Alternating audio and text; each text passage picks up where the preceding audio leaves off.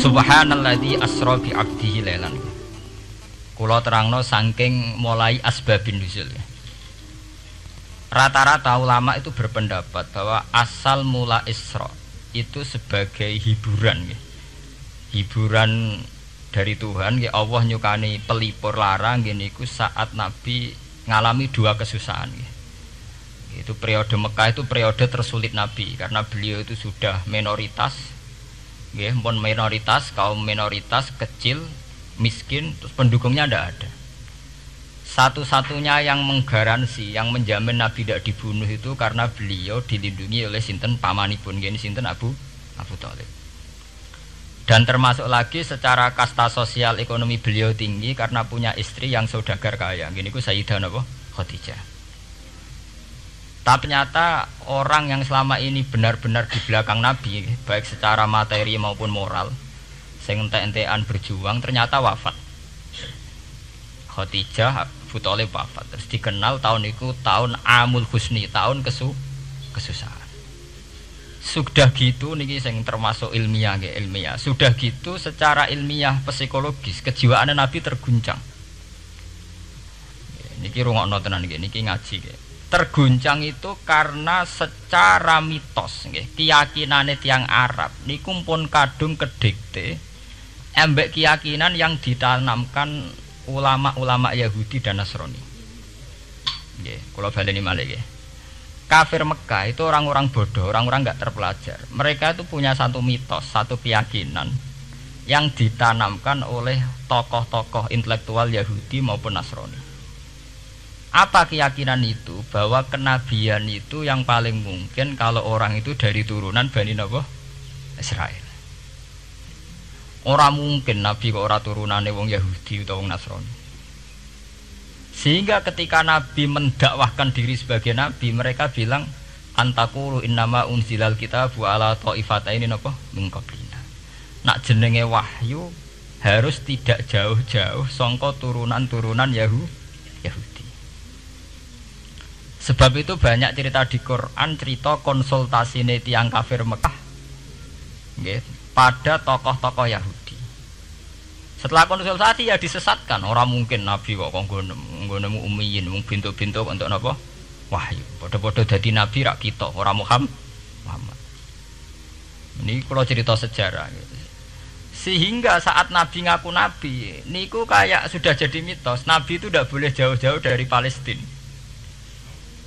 Karena Nabi Ibrahim orang Palestina, Nabi Isa orang Palestina. Yahya Zakaria juga orang Palestina. Nabi Musa juga orang Palestina. Semuanya itu tidak jauh-jauh dari komunitas Baitul Aqsa. Ini ku masjid Baitul Maqdis tapi Baitul Muqaddas. Lah itu wong-wong kafir pinter.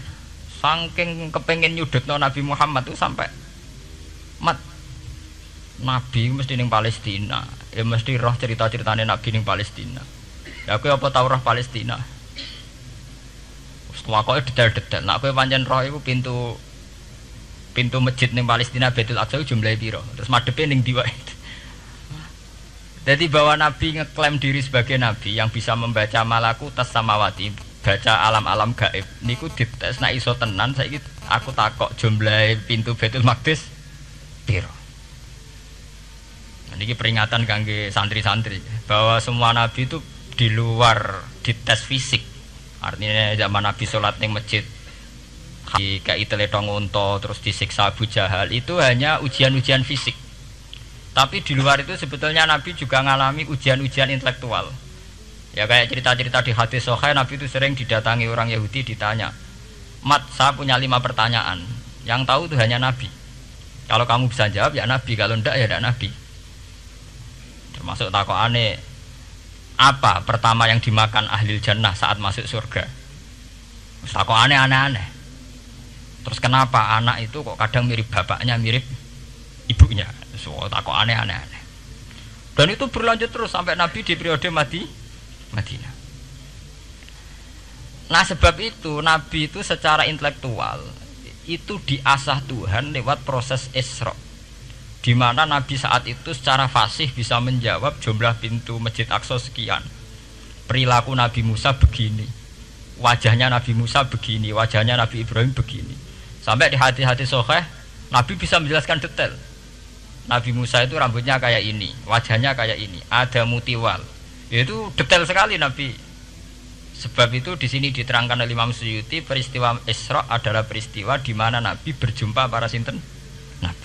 Itu asal usulnya kenapa? Karena sudah kayak menjadi mitos Nabi itu tidak boleh jauh-jauh dari tradisi Yahudi, tradisi Pales Palestina. Paham Ben Saman roh asal usulnya. Tapi kemudian asal usul itu itu sebetulnya hanya sementara, ya, hanya permainan politik.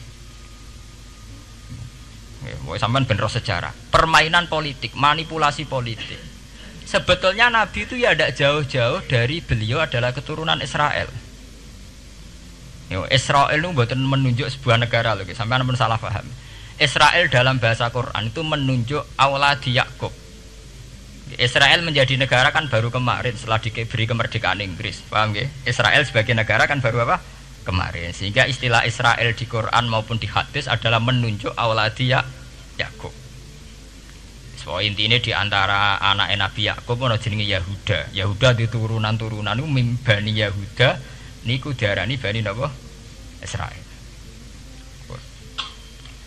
Ternyata setelah dirunut Nabi Muhammad itu ada beda jauh dengan keluarga Israel.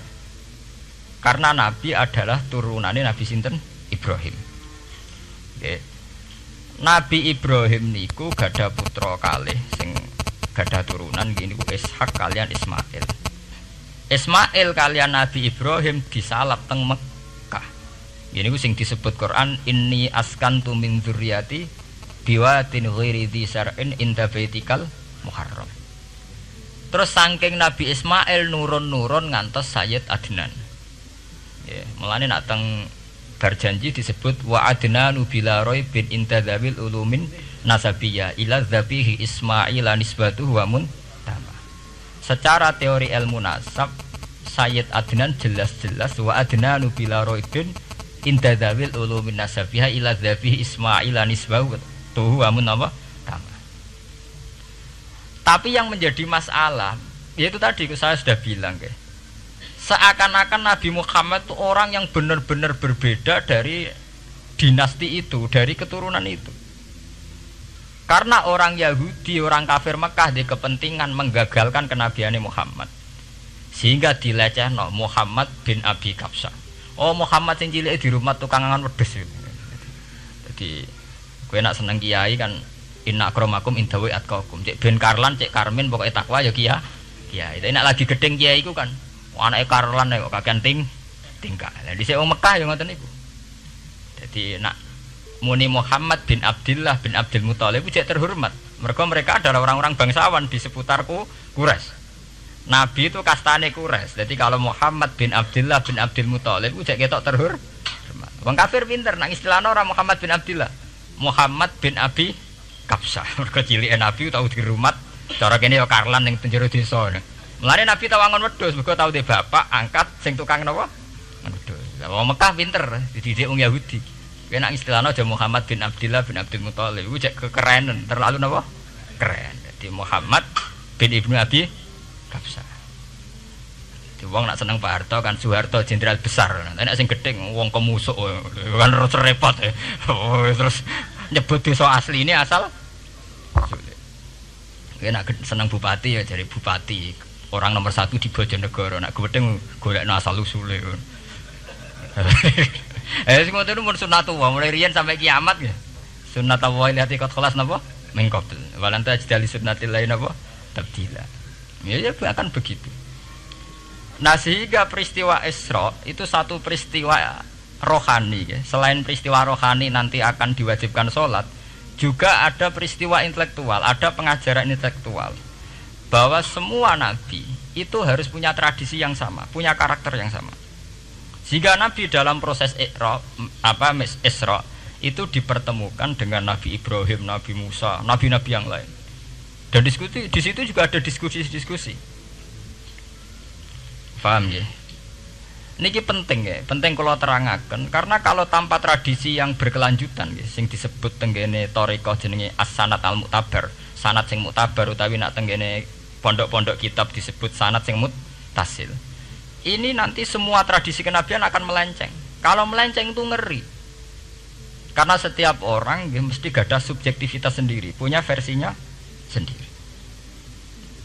Sehingga semua nabi harus model istilah politik punya platform yang sama, punya karakter yang sama, punya model yang apa? Sama. Nah, sebab itu secara intelektual Nabi Muhammad itu dikenalkan oleh karakter para nabi-nabi dulu. Nggak detail. Satu Quran 30 juz. Andai kan sampai napal Quran.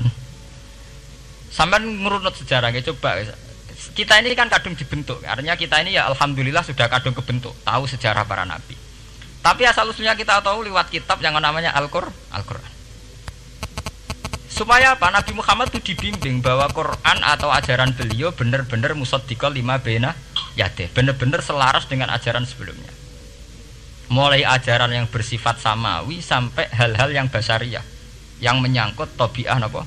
Basariah. Kalau contohnya ngeten, misalnya begini. Nabi Muhammad disejarahkan Nabi Ibrahim, beliau punya problem. Problem itu berupa punya bapak atau paman yang tidak Islam Bahkan nak ning critane kiai-kiai desa dari Nabi Ibrahim cilike kon adol patung. Terus didol meniki patung, ya ora manfaati ra mudarati mbok tuku ya karepem ora napa karepem. Mbok ono sanate mbok ora pokoke cerita itu populer. Disejarahkan begitu. Sehingga Nabi Muhammad tahu, oh ternyata yang punya problem ngadepi keluarga itu tidak saya tok. Dulu Nabi Ibrahim juga punya problem ngadepi keluarga. Aku tak lumayan terima paman, Pak Lek, Pak De Abu Jahal sinten? Nabi Ibrahim malah bapak bapak. Setelah itu juga diceritakan tentang Nabi Nuh, Nabi Lut. Seorang nabi besar yang punya nasib sial, yaitu istrinya pengkhia, pengkhianat. Mereka jadi kiai di bojo judes itu tidak masalah. Mulai di terima kiai di bojo judes biasa. Ya itu tadi Nabi Nuh, Nabi Lut itu lebih ngeri ketimbang itu di bojo apa? Bukan kebenaran. Kita kan paling dicoba bojo judes, kan ringan banget. Paling banter mencano piring gelas itu murah banget. Ya. Begitu terus. Nabi Musa juga gitu. Diceritakan Nabi Musa, beliau adalah seorang sosok Bani Israel yang temperamental. Ya basaria sekali. Saking temperamentalnya ketika tukaran tukaran ya jotos. Lalu nak nabi kiai temperamental kadang jotosan ya ono sanatir ya Nabi Musa nak nak tukaran raja cocok napa? Jotos. Fawakazahu Musa fakodo alai. Artinya ya basaria sekali. Cerita ABG ini kubire wonten saat dia beliau melarikan diri, lala ketemu cewek loro. Ya rawan tise barang Nabi Musa waduh mari maksiat ya terus kan wadek aja mlaku ning ngarepku. Nah kena angin aku roh sikile mari nafsu. Aku nabi kok nafsu barang kan ra pantes. Nah ngono kayak mlaku guri, guriku. Ya basaria sekali itu sampai detail. Terus ketika itu terus disuaka politik oleh Nabi Su.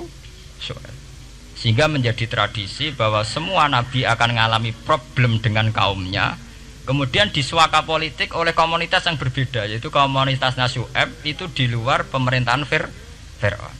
Sama seperti yang dialami Nabi Muhammad, komunitas Mekah itu menyiksa Nabi, bahkan mengimbargo sinten Nabi. Semua aliran dana, aliran ekonomi, akses dana, akses makanan itu ditutup di Mekah. Sehingga Nabi sampai dahar dedaunan. Fisik bil jibali apa Mek Mekah.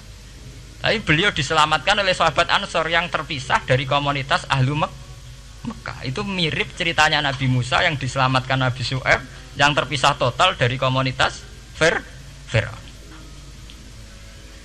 Ini penting kalau ulang memiliki sehingga karakter-karakter kenabian itu tidak rubah.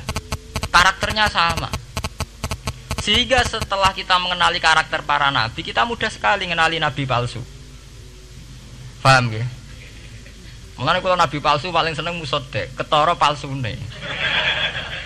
Lah sing repot sing ora ketara, mergo jenenge Ahmad. Ahmad Muhammad tak mirip. Mulane nek kowe jeneng supaya ora aku nabi jenengno Kartolo. Mergo nek Ahmad bin Gulam rak jenenge Ahmad. Ana terkenal ya nabi nek ora jenenge Muhammad utawa napa? Ahmad. Mulane Ahmad bin Gulam pas ngaku nabi pengaruhnya gede mergo mirip. Mulane kula wingi takoki mahasiswa Jogja. Gus, cara jenengan jeneng Jawa be Arab apa iki? Nak trennya akan nabi palsu apik Jawa lah Kartolo karena secara kriteria kenabian tidak akan masuk nah anak jenenge Kartolo atau Karmin itu tidak akan masuk kriteria wong sing bakal jadi nabi lah anak jenenge Ahmad tak mirip-mirip nabi Oh Ahmad Hulam bin Mirza wani ngaku nabi mergo jeneng Ahmad. Musoddaq ya mergo musoddikal lima bena ya teh. Lah anak Kartolo, Karmen, Karlan agak ono. Mulane saiki sing jenenge Jawa kudu syukur. Akan terbebas dari mengaku napa? Nabi. Lo syukur kan gak akan salah. Di barokah sampean jeneng Jawa, orang-orang ngaku napa? Nabi. Selamat. Kudu syukur. Paham ya? Tidak apa-apa, itu harus dinikmati. Ya itu tadi ya, karena Nabi itu punya karakter yang sama, punya tradisi yang sama, yang mirip-mirip. Itu kenapa Quran berkali-kali menceritakan sisi-sisi kenabian Nabi di luar Nabi Muhammad. Karena biar karakter Nabi Muhammad terbentuk, ya, terbentuk dengan karakter Nabi sebelumnya. Tidak melenceng. Kemudian tuh ditiru oleh ulama kita kita punya guru, guru punya guru lagi, punya tradisi yang sama. Nak mulang kudu istiqomah, santri loro lah kudu lah. Nah, sudah kiai aja mau pat ijo nak roh duwe. Pokoknya dilatih. Nah, tapi dari kiai saya orang merpat ijo, merpat abang. Saya kiai abang. Dhisik duit paling gede rak saya ketewu iku rak ijo. Lah saiki satu sewu abang. Dadi saya nak nasihati nak roh duwe aja mripate abang. Ijo wis wis gak akeh saiki. Paham napa? Ah kena kena akal-akalan ngoten jan repot. Tuh gara kula di santri dablek nek di bojo aja moro tangan. Kula mboten moro tangan, kula saduk, moro sikil. eh kena oh. kena anekdot-anekdot ngono rusak. Adu-adu ning bojone. Bojom bojone loro, bareng bojone nguap. Kowe jare rabi Pak ning jaba, bojom jare loro fitnah, Dik. Sing bener telu. Ayo kan repot. Ketemu ketemu cangkem elek rusak kabeh. Fitnah udah nak loro. Sing bener apa? Telu. Lah saat ini mun politik ngoten Enggak saya sebagai pejabat tidak pernah mengkorupsi satu sen pun uang rakyat. Wong edan tapi ya korupsi ya sak sak sen. Ngomong ra waras tapi ya korupsi napa? Sak sen. Ngono miliaran tok. Korupsi napa? Sak sen. Ya mesti ae. Geneman. Ayo jadi zaman akhir itu kayak zaman dhisik, kayak Abu Nawas kabeh. Jadi apa-apa niku pun mun mboten karu-karuan. Ya. Wah itu permainan kata begitu niki kula penting kula terangkan ya. Saya sebagai ahlul Quran, orang yang banyak baca Quran ya. Itu kita akan tahu betul betapa parahnya ya, atau akibat negatifnya dari permainan kata itu. Dan itu dilegalkan Quran, disakar Quran dalam beberapa ayat yaqulu apa yuriduna ayutfi'u nurallahi bi afwahihim Orang-orang Yahudi, Nasrani, kafir Mekah itu ingin sekali membunuh Islam lewat permainan kata bi afwahihim. Yaitu tadi misalnya kalau Muhammad bin Abdullah bin Abdul Muthalib itu kelihatan keren karena masih Bani Quraisy. Tapi kalau diistilahkan Muhammad bin Abi Kabsah, wah Muhammad sing anake Karlan iku, iku ora ummiyin. Balik dadi wong alim terus diistilahno bapakmu sing cilik iku angon wedhus. Ya terus repot terus ajur kah? Kabeh. Itu biafahim. Efektivitas biafahim itu sampai tenggene tarikh Suyuti wonten keterangan wa min dalika irtad dajamun minas sahabah. Dari permainan kata yang ditanamkan orang Yahudi itu sampai banyak sahabat yang murtad istilahnya itu jamun minas sahabat meskipun setelah murtad itu ya difonis tidak sahabat misalnya menyangkut nasa mansuh. Orang Yahudi pinter duafa ul muslimin orang-orang muslim yang imannya masih lemah. Delok le nabimu wong kok pelin pelane ngono. Dhisik Ka'bah madhep Baitul Maqdis. Iku bener iku mergo kiblate Nabi Musa. Nabi-nabi dhisik kiblate Baitul Maqdis. Nah saiki gara-gara dekne kangen keluargane manjen dekne cak Mekah saiki kangen Mekah. Terus kon manggon omahe buyut-buyute. Dadi saiki kiblat diadepno omahe buyut buyute. Kangen-kangene dhewe tunggu urusan kiblat jare. Jadi pas Nabi Nabi itu masih di Medina. 16 bulan Nabi sholatnya madep Baitul Maqdis. Suatu saat tok wahyu falan waliyana kakiblatan tarduha. Fawalli wajhaka satral masjidil haram. Saat ini kan madep teng Mekah. Saja ini normal saja. Artinya normal ya normal. Tapi orang Yahudi memanipulasi bahwa itu fakta bahwa Muhammad itu apa memimpin agama dengan cara tradisinya sendiri. Mergo dekne kangen keluargane ra iso mulai terus sholat madep daerah dhewe nggo pelipur lah lar. Ya, jare sahabat sing doa fal muslimin diangen-angen ya iya. Dan ini kalau peringatan tentang santri-santri ya. Sebab itu kalau sampai jadi kiai itu santri harus punya wawasan intelektual yang luas. Semenjak itu Quran mewahyukan secara nalar sejarah. Ya, ini sing disebut ayat Inna awala baiti wudi alinasi lalladhi bibak kata mubaraka wa hudal lil alamin fihi ayatum bayinatum maqamun apa Ibrahim. Akhirnya Nabi Muhammad nantang. Nantang ning tokoh-tokoh Yahudi. Apa salahnya saya punya dua kiblat? Baitul Maqdis adalah kiblatul Ambiya karena dulu Nabi Musa di situ, Nabi Isa di situ. Sekarang saya menghadap ke kiblat yang lain karena itu kiblatul Ibrahim dan dia lebih senior lebih apa? Senior. Sebelum ada Baitul Maqdis itu sudah ada Mekah. Mekah lebih senior, lebih tua. Terus disebut fihi ayatum bayinatum maqamun apa? Ibrahim. Nabi Musa Isa adalah periode setelah Ibrahim. Sebab itu akhirnya semenjak perdebatan itu orang Islam bangga. Makanya sampean kalau ngaji hadis-hadis sahabat itu bangga. Ana miman sholla al kiblaten, ya. Ana miman sholla ilal kiblaten. Aku termasuk sahabat yang menangi dua kib kiblat. Mergo zaman madhep Baitul Maqdis ya kiblatul anbiya, madhep Mekah nggih kiblatul anbiya. Artinya apa? Perdebatan ini dimenangkan oleh Nabi Muhammad bukan karena mitos atau kultus atau taklid buta, tapi memang secara sejarah kiblat tertua adalah Mek Mekah. Ini disebut inna awala baiti wudi alina silaladin apa? Bebak kata mubaraka wa alamin fihi ayatum bayinatum maqamun apa? Ibrahim. Artinya Quran tidak pakai teori mitos. Pokoknya Nabi ini saya aku ya terserah aku itu tidak begitu. Paham ya? Tapi diterangkan secara kesejarahan bahwa asal usul Mekah jadi kiblat itu rasional sekali. Bukan karena Nabi orang Mekah boten, memang dulu-dulunya Nabi Ibrahim berkiblat di situ. Jika Quran jawab inna awala itu wudi alina silalladzi bibak kata barokah wahudal lil alam terus kalau bolak-balik masalah Isra ya.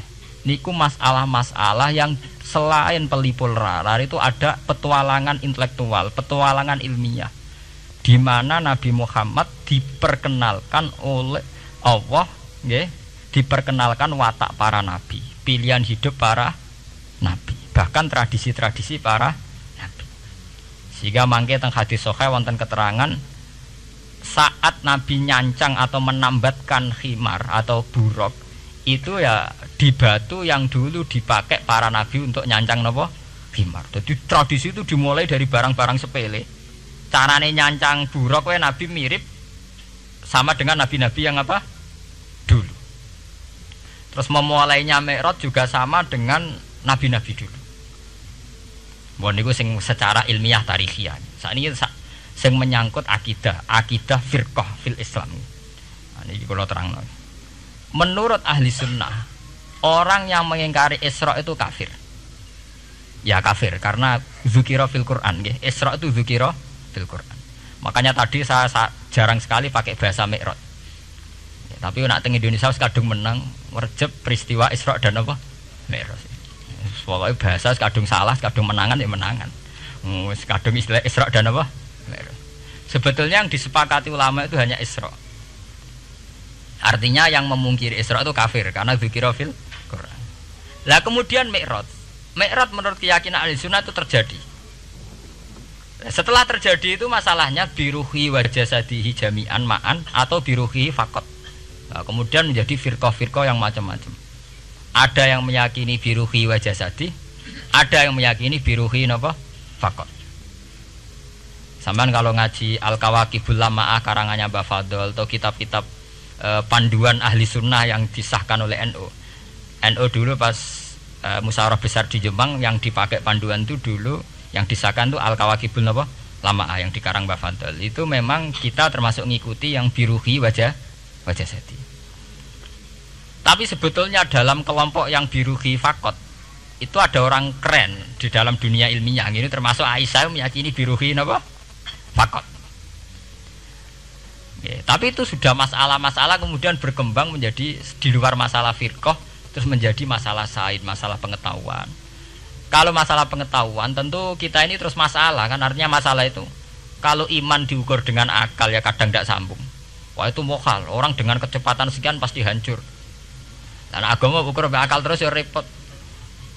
Wong dipendem sudah dibualung ya dibualung, dibakas tangi barang. Jadi sing disoal ora mek rotok kabeh napa? Disoal. Omanjen masalah manusa itu masalah-masalah sing ya, ya begitu. Oke. Mpun niku penting. Nah, itu terus kemudian menjadi firqah. Terus kemudian ada hadis-hadis yang menerangkan proses Nabi dialek dengan para nabi.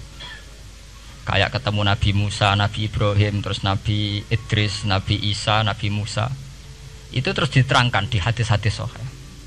Ini kalau balik tentang keterangan wau, sebetulnya pertemuan-pertemuan ini itu dimaksudkan Nabi biar punya tradisi yang sama dengan nabi-nabi sebelum sebelum Karena ini penting ya. Sama esro rasane dadi kiai. Niku kroso banget. Misalnya kita ya, kita akan dididik ala pesantren misalnya. Kita punya kiai-kiai yang punya tradisi. Misalnya nak rawong nakal, wong minum, astagfirullahaladzim, wong kok ngono kan gitu. Ya hanya begitu. Sehingga wis kaya identik angger Kiai NU atau Amalia NU iku rawani naboki wong sing nyabu. Ya rawani nyaduki wong sing lagi mi minum. Kemudian itu dianggap satu kekurangan atau apa walhasil kemudian lahir kayak FPI orang yang tidak menerima metode itu. Tapi sudah kayak ada janjian tuh begitu. Kiai paling anti kemungkaran lah itu. Masa kiai paling kerengo sopo terkenal kerengo. Mereka tidak punya catatan repot bahwa mereka pernah jotosi wong mi minum masih sing sering jotosi santri lah itu tetap rata wono terkenal jotosi napa? Wong sing mabuk wong sing minum. Itu sudah kayak tradisi. Dulu zaman Basim Asari Jombang terkenal hijau be abang. Yang wabang ya abangan tenan. Sing hijau hijau tapi tidak ada catatan sejarah kiai jotosan be pemabuk. Ya memang kayak kita sudah punya tradisi naruh kemungkaran itu menang kalah itu lewat proses bil hikmati wal mau'izatil hasanah kita ini kayak punya tradisi nak kemungkaran milih model Nabi wa Mahdi qaumi fa innahum la ya'lam. Itu ya kayak ada janjian begitu. Meskipun kita sebagai orang alim ya tahu nahi mungkar itu wajib. Nahi mungkar itu begini-begini, tapi ya praktek kita tidak pernah begitu. Ya, kalau di Timur Tengah kebalikan. Mana ada terima karuan wong nakal. Podo soleh beda aliran halal dibunuh. Sehingga wong Sunni yang ngalalo dari wong Syiah, wong Syiah nggih ngalalo dari napa? Wong Sunni. Ya sudah kayak tradisi. Sampai anak mau kitab fikih-fikih khas Arab. Mau biasa muni wong ngene iku muhadarun damu. Padahal ya wong soleh, wong Islam di mazhab apa ini disebut darun apa? Damu. Sehingga kita itu tadi kita punya tradisi. Saya tuh kalau sedang tahajud, matehai para wali-wali songo atau apa, itu yang terpikir di saya itu hanya satu. Agama Islam itu lahir lewat Quran dan hadis. Tapi kemudian tahu-tahu tetap berimprovisasi, berkembang sesuai tokoh yang membawa. Samaan kalau melihat Islam di India dulu sampai perang besar-besaran, kemudian zaman Abdul Ala al Maududi, zaman periode Muhammad Iqbal, sampai India pecah, kemudian jadi Pakistan yang bernegara apa? Islam, karena banyak konseptor Islam yang tidak setuju negara sekuler. Akhirnya mereka misah jadi negara Islam Pakistan. Kemudian Timur Tengah juga begitu. Karena Timur Tengah sudah Islam semua, masalahnya itu diislamkan ala Sunni atau ala Syiah. Iran menjelma sebagai aliran Syiah. Yang Sunni dianggap sesat, halal darai. Irak zaman Saddam Hussein pemerintahan Sunni. Sing Syiah diban bantai sehingga wong Kurdi do mati. Era Saddam keyo gentenan Saddam sing di bantai. Makanya kalau saya ngaji di Jogja, seminar di Jogja bilang, kita ini harus bersyukur. Kita ini punya tradisi konflik yang terbaik di dunia. Enggak, kita ini punya tradisi konflik yang terbaik di dunia. Sampai nak Isra Ikhwanil Muslimin teng Mesir. Badan Intelijen Nasional atau Badan Stabilitas Nasional, Bakor Setanas atau itu harus terima kasih sama tradisi tokoh-tokoh Islam di Indonesia. Lepas dari kita setuju tidak setuju itu terserah. Tapi kita punya tradisi konflik yang paling baik di dunia kurang bencinya Gus Dur sama FPI atau FPI sama Gus Dur paling mereka ya adu statement di depan wartawan itu bagus sekali cara neng Arab wis tembak-tembakan Kita punya sejarah. Secara pesantren saya itu punya sejarah panjang. Zaman Mbak Imam beda dengan Mbak Zubair, zaman Kiai Memun beda dengan Kiai yang lain. Paling adu statement saat ada tamu itu paling bagus. Kita punya tradisi konflik paling bagus di dunia. Kayak apa mangkalnya orang NU saat Gus Dur diimpis, dipecat. Tapi habis itu ya sering seminar ketemu Amin Rais. Ya mereka adu polemik, ini tidak konstitusional, ini apa. Gus Dur nggak jurus dekret. Sing sitok nggak jurus sidang isti mewah. Nah, kurang serem sidang istimewa dilawan sidang luar biasa. Pokoknya agak istilah sing serem-serem. Tapi tidak saling bunuh loh. Sampai harus syukur loh. Selama ini orang awam sering bilang, lo kiai kiai kok tukaran. Sampai bandingkan di Timur Tengah, jenenge tukaran mesti tahdirudam. Para polisi, para badan intelijen, para yang menjaga stabilitas negara ini harus terima kasih sama tradisi tokoh-tokoh Indonesia. Yang namanya di Mesir, di Irak, di mana-mana jenenge tukaran mesti melibatkan pertumpahan saat Arab Saudi jadi Wahabi itu besar-besaran itu. Pembunuhan apa apa pengusiran orang-orang Sun Sunni. Tapi di Indonesia enggak. Desi anarkis. Paling itu tadi adu polemik. MLB dilawan MLB itu masih keren sekali tidak apa-apa. Itu lebih baik ketimbang didu adu jotos atau adu hizib lah. itu masih bagus. Nenda ini sampean biar paham, biar syukur jadi bangsa Indonesia. Kita punya tradisi konflik yang baik. Sama nak setelah peristiwa teng Irak, ya, teng Sudan, teng Khartoum, teng Darfur, itu kan orang Islam semua. Gara-gara beda madzhab saling bu, bu. Di Mesir ya gitu, Ikhwanul Muslimin dengan pemerintah dan sebagainya. Hatta saya sebesar Sayyid Kutub, sing tokoh populer mohon kak budutnya buatan jelas. Di Indonesia bagus sekali kita menangi zaman secara sejarah ya. kita menangi bedanya dulu Ahmad Hasan dengan tokoh-tokoh NU Kulo nu menangi secara sejarah sering baca terus zaman anyar-anyaran NU asas tunggal bedanya Gus Dur dengan Kiai As Asad sak mangke bedanya PKB dua ver versi mereka menyelesaikan secara beradab. Lewat pengadilan kok pengadilan kalah lewat MA ya beradab sekali. Kita harus bersyukur. Dibanding penyelesaian konflik kayak di Irak kemudian ngundang Amerika. Akhirnya sekarang kacau baru di Timur Leste yang latihan bikin rambut serta di sudut Indonesia paling banter ngobong fotonya SBC ya masih terhormat lah masih artinya masih beretika. Kita harus syukur punya bangsa yang ber, beradab Uang ras tujuan antar kiai ya rasan rasanan kiai kok ngono sing kiai kok ngono Enggak sing kiai tengah-tengah ayo ono sing ngono ono sing ngene dadi. sing ra melok-melok biasanya terus milih amane ya ono sing ngono ono sing ngene. Jadi artinya kita yang baik. Saya itu berkali-kali ngaji ya. Sampai kalau sering baca Quran dan menghayati, artinya orang baca Quran pelang-pelang rara karpe menghayati. Saya itu sekarang sesadar-sadarnya, saya masih belajar. Ini jamaah sini harus tahu. Gitu saya hingga detik ini masih belajar entah itu lewat belajar baca jalalain atau belajar merenung maupun belajar lewat lewat lewat yang lain Quran itu dulu ya sering nyebut begitu itu saya tidak paham sekarang itu saya paham tambah paham misalnya di juz 4 ada istilah ikhwanan orang mukmin disuruh ingat peristiwa-peristiwa yang dulu saling iskuntum a'daan fa'allafa baina qulubikum fa asbahtum bi nikmatihi napa? Ikhwana. Dulu kamu bermusuh-musuhan yaitu antara kelompok Aus dan Khosrot gara-gara barokatul Islam sekarang kamu menjadi ikh ikhwana. Menjadi bersaudara. Sampean kalau melihat TV merunut konflik di Irak. Sering ada bom bunuh diri ada itu kan ada asal usulnya. Memang sekarang orang menimpakan kesalahan itu pada pasukan multinasional yang dipimpin Amerika dan Inggris. Tapi sebetulnya ada usul-usulnya. Sampai Amerika bisa masuk karena orang Irak tidak ikhwanan. Tidak apa?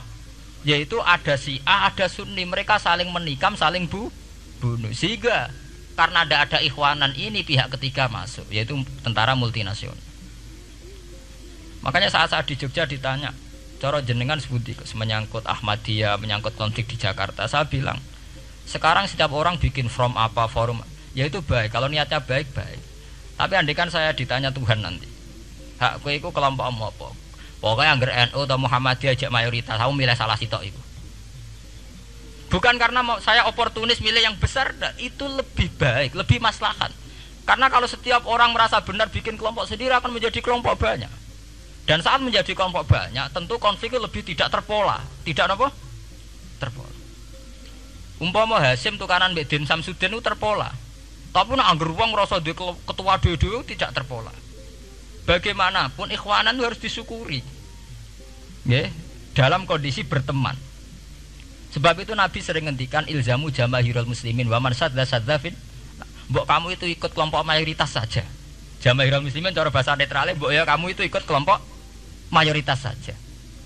Karena kalau orang merasa benar kemudian bikin kelompok sendiri itu tidak ada selesainya. Lah aku lah cara nuruti GR sebagai kelompok dewi. Ngaku ya di umat, di pengaruh, sing nyucup wis akeh.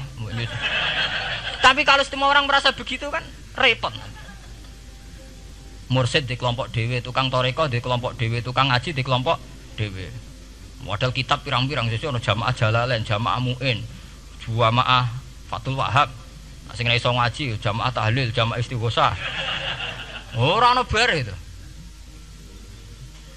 Saya tuh kalau ditanya di Jogja, meskipun saya kritis, artinya kritis itu mungkin terhadap satu fenomena kita tidak setuju atau Muhammadiyah dalam banyak hal atau satu dua hal. Itu tidak menjadi alasan kita untuk tidak mengikuti mainstream. Karena kalau mainstream ini dilanggar, itu kita tidak akan ikhwanan. Dan akibat negatif dari tidak ikhwanan adalah kayak kasus Irak Iran itu kenapa tidak mudah diserang Amerika padahal punya nuklir? Karena mereka seragam A semua. Itu lebih gampang, lebih susah. Lawan itu apa? Susah. Arab Saudi juga mudah diadu karena karuan seragam habis semua. Kita tidak bicara itu ya akidah. Mungkin kamu bisa debat Wahabi itu benar apa enggak. Tapi karena relatif aman, nggak diacak. Indonesia juga gitu. Kenapa tidak banyak konflik? Karena orang itu Islamnya kalau udah NU ya Muhammadiyah. Buat cocok ra cocok mbak milih. Itu lebih mudah. Ketimbang ada faksi-faksi baru kemudian stabilitas menjadi tambah kacau. Nanti kalau niku saya loh ya, saya pribadi menghimbau. Melihat ayat itu, itu dihitung Tuhan sampai Allah ngendikan apa ifkuntum a'daan fa'allafa baina qulubikum fa asbahtum bi nikmatihi napa Kekuatan sebuah negara itu bukan karena senjatanya canggih, tapi karena rakyatnya tidak benci.